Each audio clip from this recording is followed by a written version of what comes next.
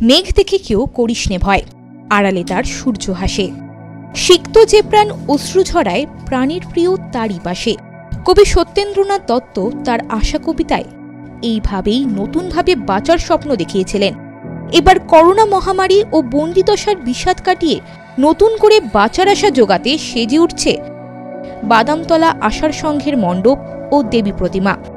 Corona কেড়েছে অনেক কিছুই, জারি করেছে নানা বিধিনিষেধ। গর্ভবতী অবস্থায় মানসিক চাপ, মানসিক বিষাদগ্রস্ত হয়ে ঘটেছে বহু অপ্রীতিকর ঘটনা। সেই চাপ অভিশাপ থেকে মুক্তি দিতেই শারদীয়ার খোলা হাওয়া হয়ে আসছে বাদামতলা আশার সংঘের পুজো। শিল্পী জানাচ্ছেন, কঠিন পরিস্থিতির মাঝেও প্রাণখোলা হয়ে বাঁচার রসদ নিয়ে আসছে বাদামতলা আশার সংঘের পুজো মণ্ডপ ও প্রতিমা। এবার থিম হচ্ছে আশা। ওই পরিস্থিতি দু বছর কেটে গেছে, আমরা যেটা নিয়ে বেঁচে আছি, আশা যে একদিন সব কিছু ঠিক হবে। এটাই আমার এখানে থিম এবছর সাধারণ মানুষের মনেও আরও আশা যোগাবে এই প্যান্ডেল, এই কাজ। শুধু মণ্ডপ সজ্জায় নয়, দেবী প্রতিমার মাঝেও রয়েছে নতুনত্বের ছোঁয়া সঙ্গে থিম আশার সঙ্গে সামঞ্জস্য রেখে রয়েছে মুক্তির কারুকাজ, যা দর্শনার্থীদের নজর কাড়ার পাশাপাশি দেবে নতুন করে ভাবার অনুপ্রেরণা। এমনটাই মনে করছেন পুজো উদ্যোক্তা থেকে শুরু করে শিল্পী।